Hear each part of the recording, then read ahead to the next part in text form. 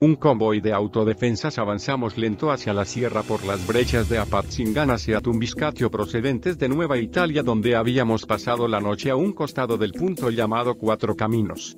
Carretera Tumbiscatio está un poblado clave para la tuta, se llama Los Chivos en honor a la barranca que también es un arroyo.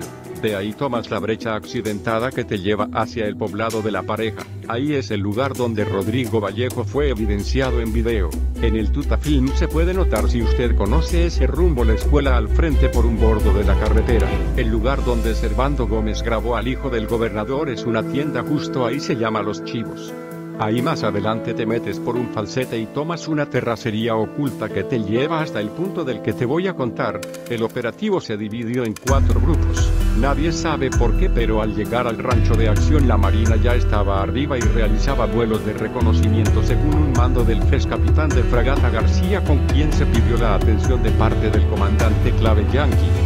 Dos grupos de autodefensa compuestos de varios comandantes Viagras 1 y gente del americano el 2 con elementos de marina el capitán de fragata con grupo 2 y clave yankee con grupo 1 tomaron diferentes rumbos hacia los costados del rancho que se ubica en una loma rodeada de cerros y barrancas, terreno accidentado y mucha vegetación que cubría el alto de los árboles por lo cual una vez adentro no se veía más que puras ramas, rocas grandes y tierra. El grupo al que me asignaron fue el número 3 con objetivo de cruzar por toda la barranca para cerrar pinza en caso de que intentaran esconderse ahí.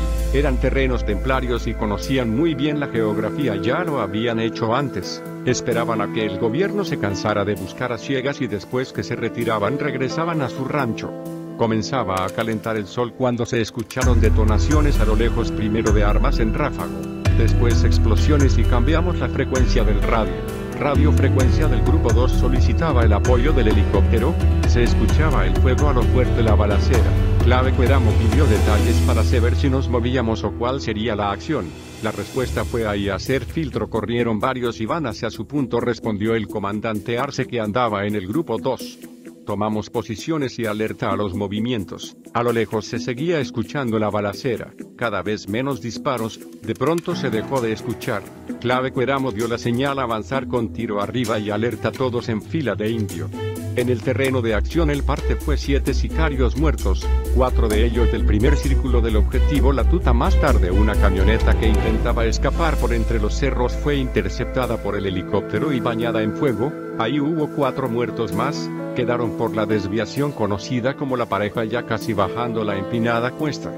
La tuta estaba en una barranca larga que recorre toda la sierra y que es de difícil acceso. De ahí fue donde lo sacaron, traía un sombrero de palma, camisa negra y pantalón azul.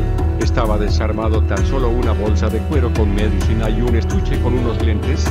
Traía 32 mil pesos, dijo el americano, dinero que según clave yankee se lo dejó al jefe de los marinos para los refrescos y por qué andaban llore y lloré que el combustible del helicóptero estaba muy caro.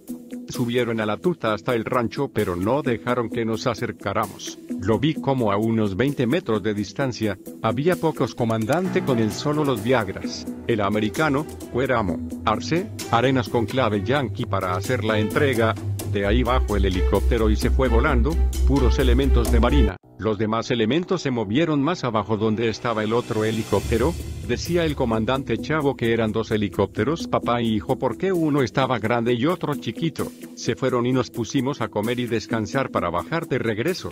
Había pasado alguna hora o más cuando se levantó otro helicóptero también de marina grande como el papá. Solo nos reímos y dijo el comandante Arce, esa es la mamá. Más información en el blog del narco.com.